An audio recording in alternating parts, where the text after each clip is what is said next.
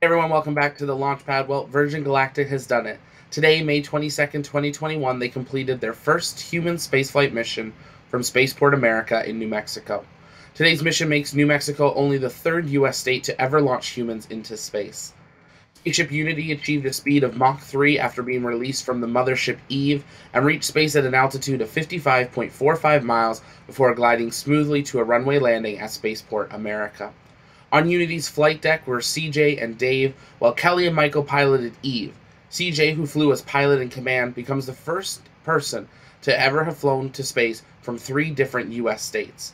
The crew experienced extraordinary views from the bright blue rimmed curvature of the Earth against the blackness of space.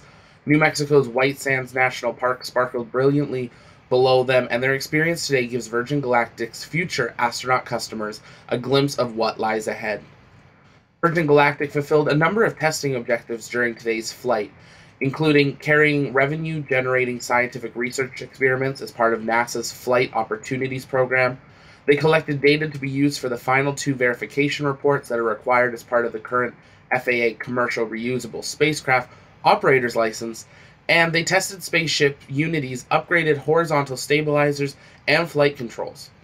Following the flight and in line with normal procedures, Virgin Galactic will conduct a review of all test data gathered and thoroughly inspect both spaceship and mothership.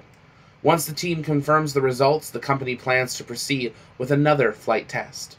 Sir Richard Branson said following the successful mission 15 years ago, New Mexico embarked on a journey to create the world's first commercial spaceport. Today, we launched the first human space flight from that very same place, marking an important milestone for both Virgin Galactic and New Mexico. So with that, I look forward to hopefully seeing Unity back in the sky later this year. If you enjoyed this video, make sure to give it a like. Engage that subscribe button so you never miss a new news update or anything space related, and I will see you next time. This is Zach with TLP News, signing off.